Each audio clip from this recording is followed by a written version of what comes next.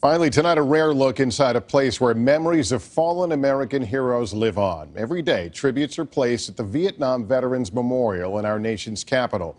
And while they are left behind, they are not lost. They end up in a vault for safekeeping, and our Kevin Tibbles takes us inside. The things we carry to the Vietnam Veterans Memorial respect, honor, heavy hearts. But many who visit this solemn black wall with its 58,000 names often leave something behind a memento. They're family to all of us. Reminding us these names belong to someone. It's not just a statue, it's just actual people. And each evening, all are solemnly collected and delivered to a National Park Service warehouse. Janet Donlin is charged with curating these personal, powerful pieces of who we are. This is a sweater. The baby sweater of a boy who grew up to perish in Vietnam, left by his mother. She's saying that she couldn't bear to part with his teddy bear, so she decided to leave his first sweater at the wall. A beloved lassie, built and painted by a 12-year-old boy who died at 21.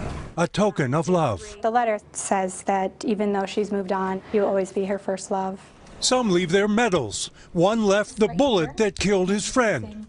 A toast with champagne or a simple can of beer for a buddy. I always hope that what I'm doing would be acceptable to the people who leave things at the wall. Row upon row, hundreds of thousands of keepsakes, all treated with respect. At the memorial, Ranger Peter Prentner watches them come Some days it's very emotional, and you know, you just realize how important it is. Because it is part of the healing.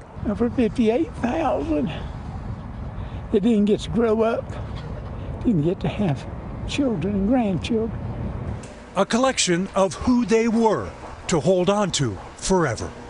Kevin Tibbles, NBC News, Washington. Hey, NBC News fans, thanks for checking out our YouTube channel. Subscribe by clicking on that button down here and click on any of the videos over here to watch the latest interviews, show highlights, and digital exclusives.